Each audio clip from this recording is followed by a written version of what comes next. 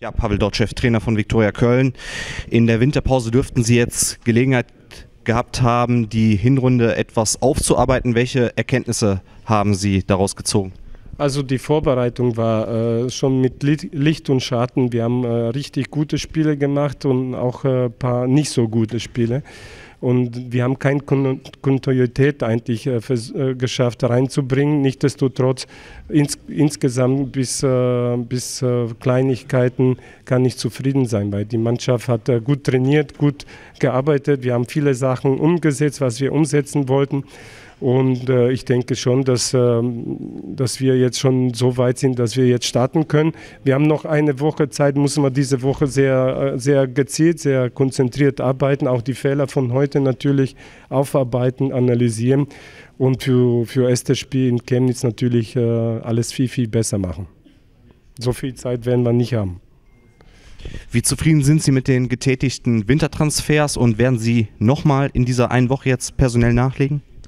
Also ich bin sehr zufrieden, dass wir geschafft haben, äh, uns zu verstärken und an Qualität zu gewinnen.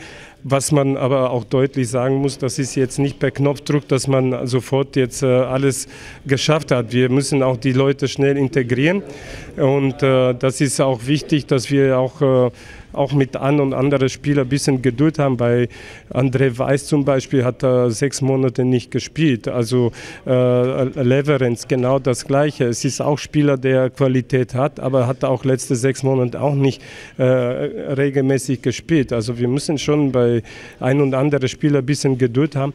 Und äh, man hat auch gesehen heute, dass bei Lars Dietz, wo wir alle wissen, dass er wichtig für uns ist und auch äh, guter Spieler ist, heute hat er selber eher seine Probleme gehabt mit Timing, mit, äh, mit äh, Antizipieren und hat auch ein paar Stellungsfehler gemacht, die zum Gegenton geführt haben. Also das heißt, ähm, wir, wir sind jetzt nicht auf 100 Prozent, aber wir sind auf sehr gutem Weg. Sie sagen es schon, Sie sehen sich auf einem guten Weg. Was stimmt Sie insgesamt optimistisch, dass Sie die Rückrunde positiv gestalten werden?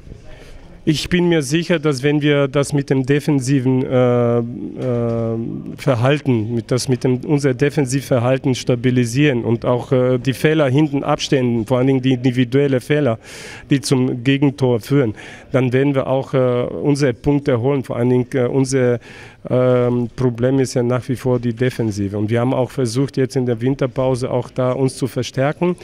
Und äh, natürlich funktioniert das jetzt die Maschinerie nicht hundertprozentig, aber ich bin mir sicher, dass, dass wir für, für, für die Meisterschaft schon die Fehler ab, äh, langsam so, dass wir sie abstellen können und dann auch endlich mal auch Spiele gewinnen mit 1-0 oder hinten zu 0 spielen. Und das muss auch das Ziel sein. Wir müssen das Mannschaft besser verteidigen.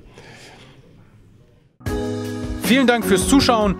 Wenn euch dieses Video gefallen hat, schenkt uns einen Like und kommentiert dieses Video.